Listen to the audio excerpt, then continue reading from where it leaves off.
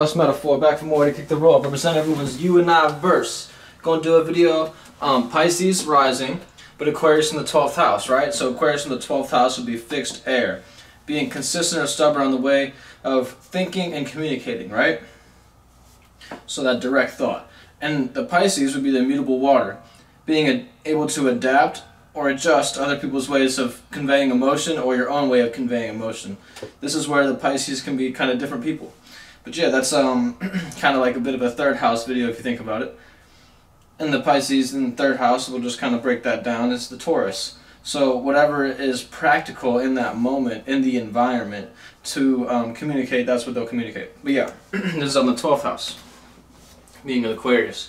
And like I say, with that fixed or consistent, like I say, consistent or stubborn thought being fixed, or that way of communicating, you're going to communicate about a certain dream. And it's so it's in a certain space that um, only certain people can comprehend it, right? So to say, I like to break down the air signs kind of like a pyramid scheme.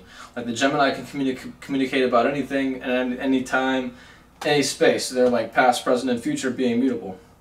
Cardinal would be the one to initiate a thought or a communication style. So it's kind of in the middle. It's it's not able to, it's not I mean it's able to, but it's not gonna just communicate about anything. It's gonna kind of structure things more. And the Aquarius is like the tip of the pyramid, or like the the bubble, and the, like you have all this air that we participate in, but the Aquarius is like the little bubble, right? So you think about the 12th house being the dreams, illusions, and nightmares. So you, in your dreams, illusions, and nightmares, you have a fixed way of communicating about that. A fixed way of thinking about your dreams to say like, okay, if this thought that I've accumulated hasn't achieved or um, come to be in reality, right? Which the sixth house would be Leo. So the way that you put your um, expression is on a consistent pattern or a a way of routine, right? Or like I say, routine or pattern with your sixth house. And this is the way you would bring those 11th house, uh, I'm sorry, those 12th house dreams to reality is being able to express yourself in a fixed way as well. So consistent or stubborn on your way of expressing oneself on a routine or pattern. So to say, okay, think about the Aquarius. Well, the Pisces is generally a very creative individual, and you think about that Aquarius being the 12th house. So that you want to have this thought of creativity being in a, in a fixed space. So being able to communicate about where you want to be. You see what I'm saying? Where that thought could, you know, end up and where it could actually be expressed, the sixth house. So to say, okay, I have this consistent way of thinking about my dream, which I say Pisces is a very creative individual. You think about that maybe being a big time movie director or something like that.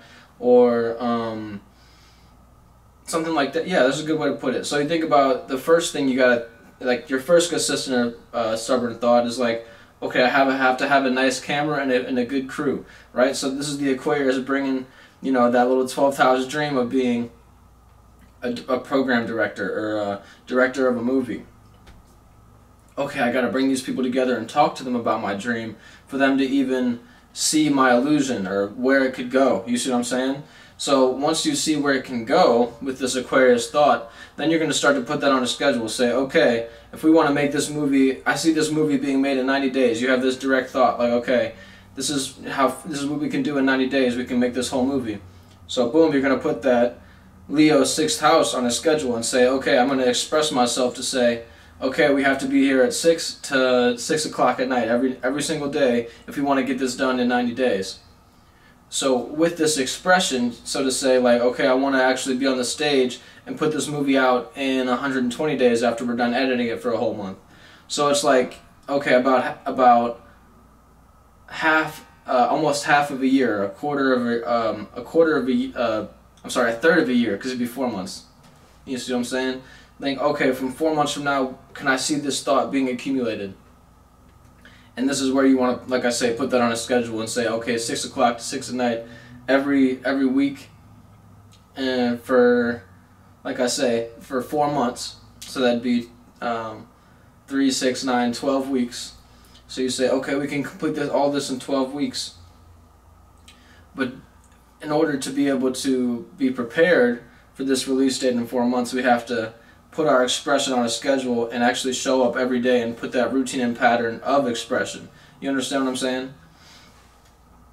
So, like I say, that's the best way to bring this uh, consistent thought or communication style. Like I said, communication style could even be your script, right? So, like, all you're talking about is your script in that whole um, month before. Um, even even putting the shooting pattern on a on a routine. You see what I mean? Like shooting the video. or movie or or scene. You see what I'm saying? You want to be able to say, okay, if we get all these scenes done this week for the for the you know the theme of the movie, and actually you know bring people in to say, okay, this is gonna this is where the movie's going. We're gonna do each, this scene, this amount of scenes this week, this amount of scenes this week, and so on. So to say you're gonna express yourself on a consistent um, or stubborn basis, right? Like it's a fixed nature.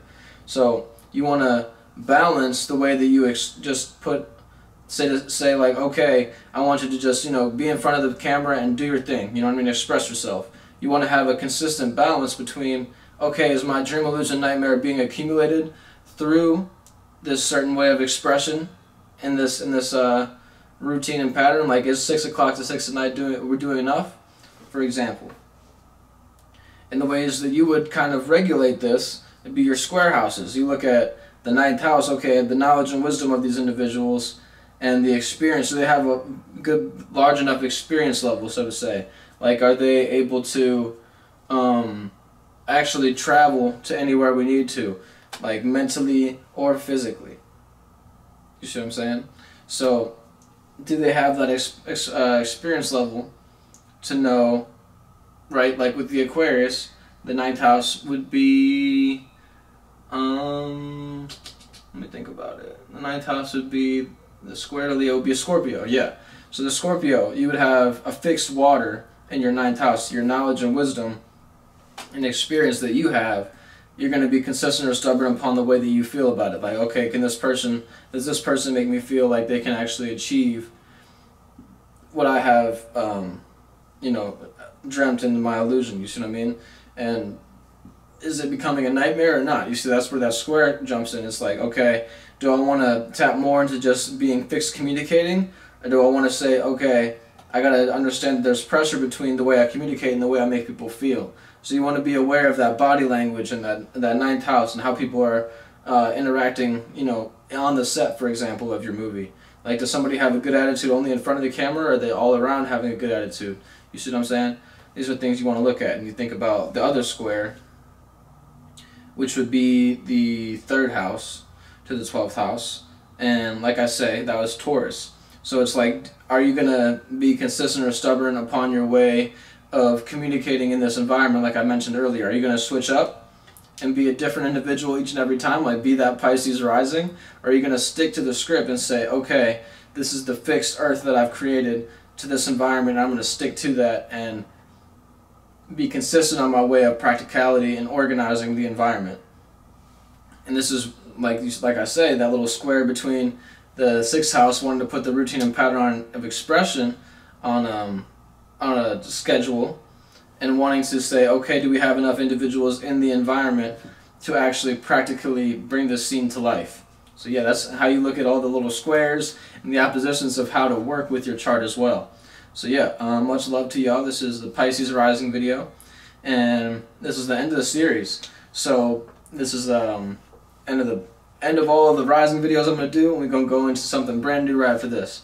And I'm looking for it to be the moon, and then we're gonna kind of move into a little bit of Mercury, and I think that's a nice place to start. The way you feel, which is the moon, and the way you think, which is Mercury. And those are the next videos I'm planning on doing videos on. I might do a little video each each time the moon moves. So yeah, that'll be a thing that I'm doing, and then also every time Mercury moves, which is you know every about every two weeks, I'll um, try to do a little bit longer live stream. I'm gonna do probably a live stream or an extended video, one of the two, and um, be able to go through each uh, each house where Mercury is moving through in the each chart. So example, we have Mercury in Capricorn right now. So if you had Mercury in Capricorn, uh, Mercury, if pardon me, if you had Capricorn in the first house, Mercury in Capricorn would be thinking about your way of personality, way of your first impression to people. Like, okay, Capricorn being cardinal Earth, being initiating, creating new ways of logistics and practicality.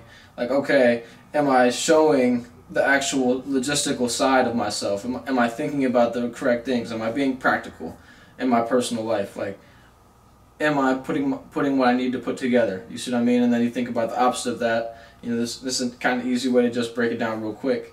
For an example, you think about, like I say, that's in your first house, and if you're um, Cancer rising, then Capricorn would be in your seventh house. So you think about the way that you relate to be a very practical way. You want to be able to be initiating, creating new ways of thinking about your relationship and being practical about your relationship and how you relate.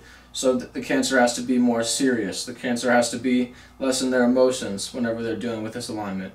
And like I say, the Capricorn in the first house, that's what they do personally. So you're just evaluating how you personally interact. But the Cancer is looking how they interact with others individuals and how they relate. You understand what I'm saying? It's not all about them personally. It's about how they're dealing with the other individual.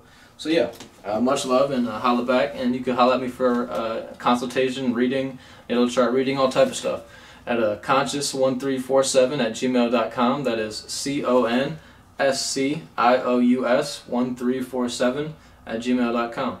And uh, peace and love, y'all. Much love. Thanks for checking out the. Thank you for checking out the series.